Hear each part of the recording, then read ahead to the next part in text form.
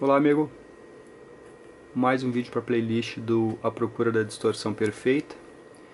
Esse vídeo aqui eu não quero falar do amplificador para ser usado como audiofilia, tá? Hoje eu quero falar do amplificador sendo usado para autoria, tá? Para criação de, de sons diferentes, tá? Criação de, criação de sons novos, tá?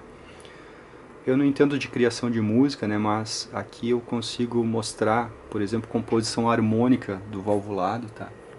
Talvez isso interesse para músicos, né? Então aqui é, eu consigo explorar essa parte e consigo mostrar, né, o comportamento das harmônicas do amplificador valvulado ou transistorizado, eu consigo mostrar aqui, tá? Talvez isso faça sentido para quem faz criação de música, tá? Então, para fazer esse vídeo eu vou usar aqui o amplificador valvulado, tá? Uma carga de 8 ohms. Eu vou usar essa caixa aqui como monitor, tá? Então eu vou usar aqui uns resistores para atenuar o ruído, né? Porque vai ser um kHz ali com o amplificador saturado, então é bem estridente, né? E eu vou, eu vou fazer a medição da composição harmônica, tá? Que é isso aqui.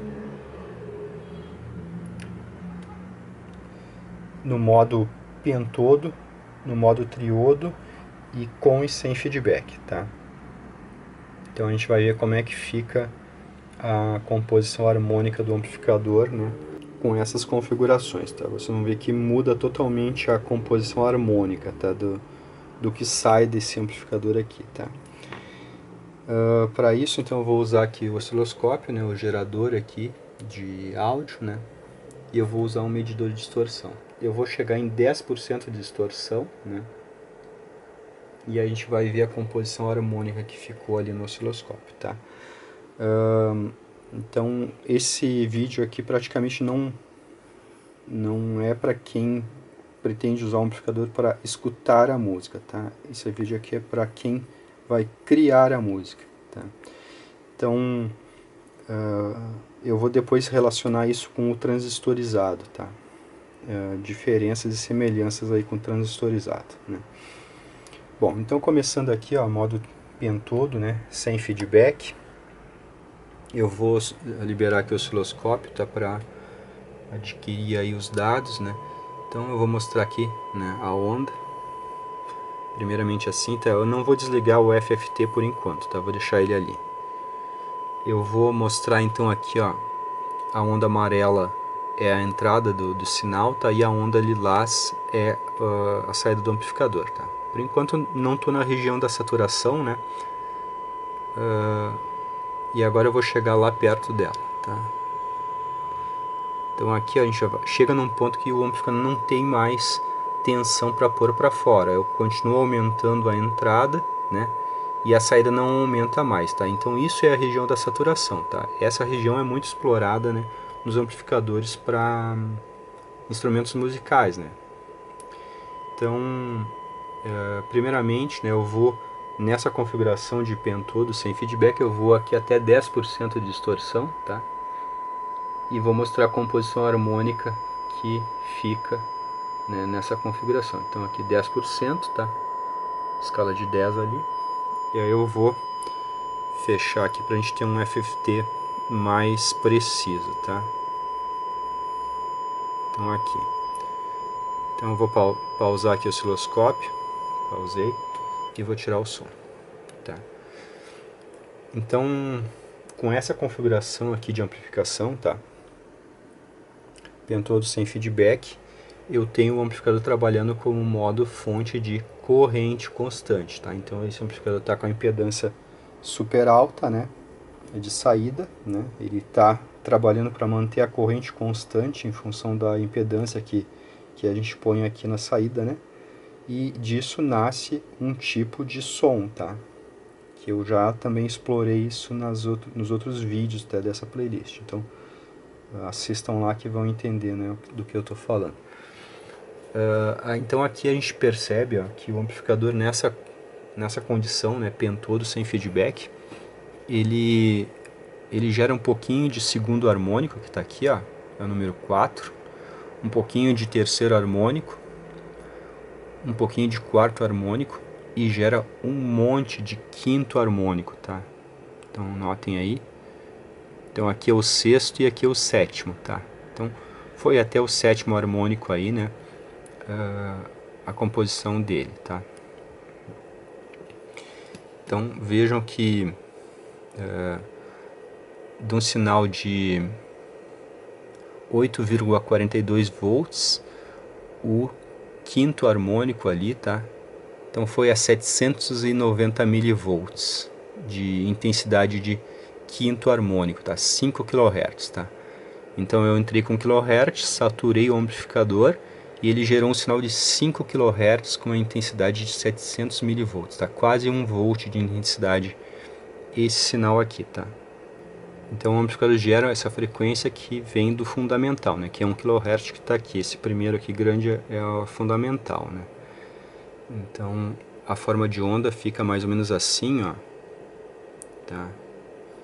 Então notem ali com essa forma aí, tá? Então notem que os cantos estão arredondados, então a onda fica assim, ó. Fechei aqui o tempo, né? Olha ali a distorção, fica o cantinho arredondado, né? A distorção fica, digamos que agradável, tá? Fica uh, pronunciando aí o quinto harmônico, tá? Agora o que eu vou fazer? vou passar o amplificador para modo uh, triodo, tá? Triodo. E vou ligar o feedback, tá? Então eu vou converter o amplificador, tá? Para um modo de funcionamento que é equivalente ao modo de funcionamento do amplificador transistorizado, tá? Então agora eu vou explorar a distorção por saturação como se esse aqui fosse um valvulado. Né? Ele está, digamos que agora convertido para alta fidelidade, né? Então coloquei ele para ser mais fiel no modo triodo e liguei aqui a, a realimentação né, uh, negativa. Então, na verdade, estou ligando dois tipos de realimentação, tá? Um uh, pelo catodo da primeira válvula e outra realimentação pelas grade 2 da, das válvulas de saída, né? Então são duas realimentações, tá? Então agora eu vou uh, liberar aqui o osciloscópio, né? eu vou começar a colocar sinal, tá? Até que chegue a 10% aqui.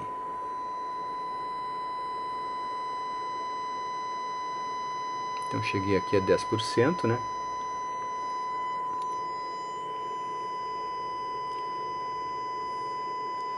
Então, olha só como é que fica a composição harmônica, tá? ela fica bem diferente de antes, né? Surge ali uh, o segundo harmônico, o terceiro, o quarto, o quinto, o sexto, o sétimo, um pouco do oitavo, né? Então notem que mudou a composição harmônica do, do amplificador, tá? Uh, como... Deixa eu parar aqui. Como agora eu converti ele para um modo que ele se comporta mais como valvo, como transistorizado, né? ele se comporta mais como fonte de tensão constante, a gente vê aquela tendência dos harmônicos descerem nesse sentido, tá? Fazerem um, uma escadinha, né? Olha só.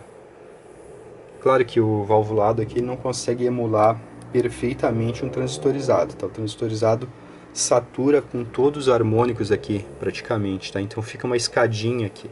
Mas notem que eu mudei a composição harmônica do amplificador, né? Mudando aqui a, a configuração dele, né? Então, eu vou mostrar como é que fica a forma de onda, tá? Olhem ali, ó. Ficou bem mais quadrado, tá? A crista da onda, tá? Então, uh, é como se fosse um amplificador transistorizado, tá? Funcionando, né? Uh, então eu converti, digamos, né? De um modo que é mais natural para valvulado, né? Que é fonte de corrente constante, para o modo de fonte de tensão constante, né? Então muda o som, tá? Uh, o som não fica a mesma coisa na hora da saturação, né? Não estou falando no, na região linear. Tá? Uh, quanto mais quadrada a onda, né, mais composição de harmônicos precisa para criar a onda quadrada. Né? A onda quadrada ela precisa de infinitos, infinitas frequências para ser criada. Né? Então, é quando a gente passa o amplificador para modo triodo ele consegue entregar mais harmônicos, né? harmônicos de mais alta ordem, né? Então, sexto, né? sétimo, oitavo, né? Então, acaba ficando o áudio mais parecido com o áudio do transistorizado. Tá? O transistorizado consegue é, colocar harmônicos de ordem muito alta, né? então por isso que o áudio vai ficando né, é, estridente na saturação, tá? não na região linear, na saturação. Né? Então, transistor de válvula na região linear não tem né, é, por que falar de estridência. Né? Mas na região da saturação o transistor é mais estridente porque ele consegue uh, entregar harmônicos de ordem maior. Né? Então, era isso que eu tinha para trazer né, sobre essa composição harmônica né, que acontece dependendo da configuração do, do amplificador. Né? Claro que cada um vai ter um pouquinho de diferença nessa composição, né? mas quando a gente passa uh, para triodo, a gente vai ter uma composição com harmônicos mais altos, tá? Então passando aqui para pentodo, né, a gente ficou só com o quinto harmônico pronunciado, né? Em triodo ficaram vários harmônicos pronunciados, né, na composição. Então é isso aí. Um abraço.